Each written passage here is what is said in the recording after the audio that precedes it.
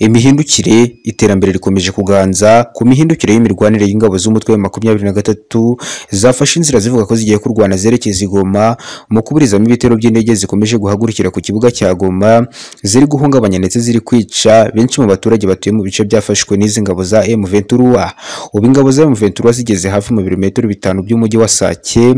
kandi zikomeje gukataza zerekeza mu mujyi wa Goma aho zibura ibirometero bike ngo zigere muri uyu mujyi wa Goma.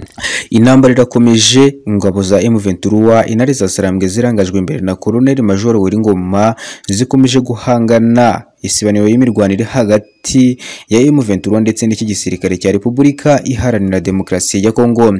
mu rukera rwo kuri uyu munsi ingabo za M23 zagaragaje amafoto kandi zitanga ubutumwa bukomeye nyuma y'uko zafashe umwe mu bakoloneli bakomeye bakomeje guhangana ndetse no kuyobora urugamba ingabo za Kongo FARDC n'ababari bazo bakomeje gushoza kuri izi ngabo z'umutwe wa M23 intero n'inyikirizo ku gisirikare ndetse n'ingabo zigize umutwe wa M23 ni ukudasubira inyuma nk'uko babyi biyemeje mpaka abacunguye abaturage bakomeje kurenganwa na guverinoma iriho iyobowe na perezida Felix Antoine Tshisekedi Chilombo ngo nuko bavuga ururimi rw'ikinyarwanda uko basa yemwe nuko bavutse. Ni ibintu bikomeje kubaza benshi haba by'umwihariko bamwe mu bayobozi bayoboye iri huriro ry'umutwe wa makumyabiri na gatatu n'izi ngabo zikomeje guhangana n'uru rugamba aho zikomeje kugaragaza ko nyuma y'uko igisirikare cya Repubulika Iharanira Demokarasi ya Kongo gikomeje gutsindwa ndetse no kugaragaza ubugwari muri uru rugamba bahanganyemo n'igisirikare igisirikare cya M23 gikomeje kuvundereza ibisasu gikoresheje indege za drone ziri mu bwoko bwa Sukhoi makumyabiri na kane ndetse na makumyabiri na gatanu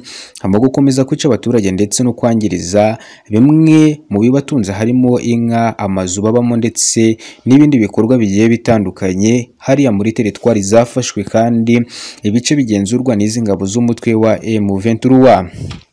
umuvugizi wa M23 mu bya politike Lawrence Kanyuka abinyujije ku rukuta rwa Twitter yagize ati igisirikare cya Repubulika Iharanira Demokarasi ya Kongo ibigwari ku rugamba. Nyuma y'uko bananiwe urugamba bakomeje gutera ubwoba abaturage bifashishije indege ziri mu bwoko bwa drone barasa ku baturage b'abasivile abatuye mu makaritsiye agiye atuwe n'abaturage benshi aho benshi bakomeje kuhatakariza ubuzima. Ibi ni ibintu bikomeje kubabaza cyane kandi uyu muvugizi yavuze ko ari ubugwari bukomeye ku ruhande rw'igisirikare cya Congo FARDC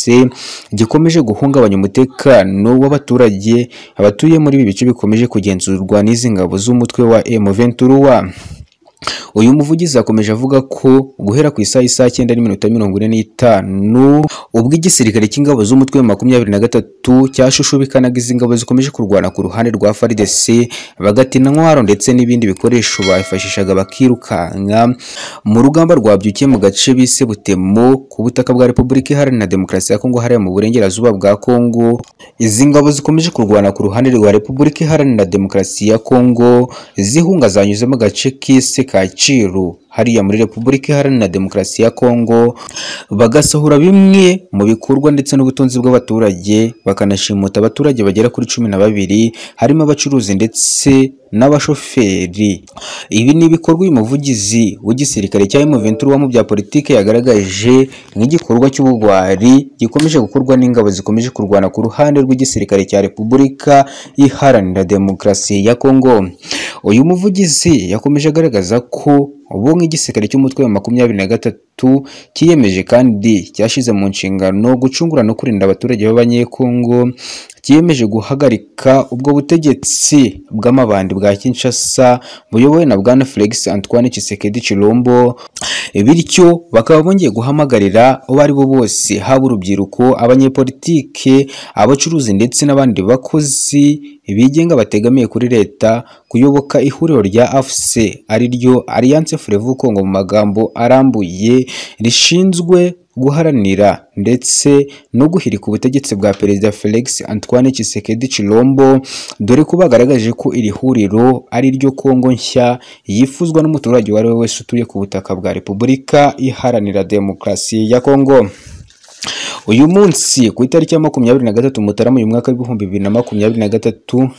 kugera kuri uyu mugoroba urugamba rukomeje guca ibintu hagati y'ingabo z'umutwe wa makumyabiri na gatatu ndetse n'ingabo zikomeje kurwana ku ruhande rw'igisirikare cya Repubulika Iharanira Demokarasi ya Kongo FARDC mu gace ka Mweso hariya mu burasirazuba bwa Repubulika Iharanira Demokarasi ya Kongo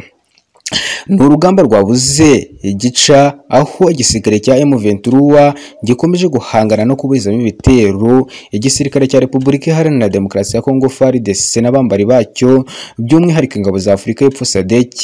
bakomeje kurasira kure bifashishije zimwe mu modoka ziri mu bwoko bwa Burendi zizwiho kurasa mu ntera ndende. Ndetse na drone z'intambara ziri kuza zikagaba ibitero ndetse zikarasa ibibombe ku baturage batuye.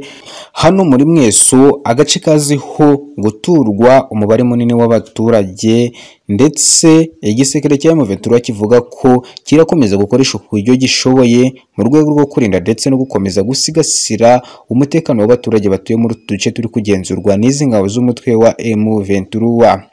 tugeze ku musozi w'amakuru twe twabateguriye tubibutsa ko kudushyigikira mukanda subscribe byoroshye ni hasi gato kuri buto y'umutuku kugira ngo mujye mukomeza kubona byinshi haba ibiganiro ndetse n'amakuru tubagezaho biba bigezweho muri politiki na demokarasi tubarayikiye n'andi makuru mu masaha ari imbere mukomeze kugubwa neza.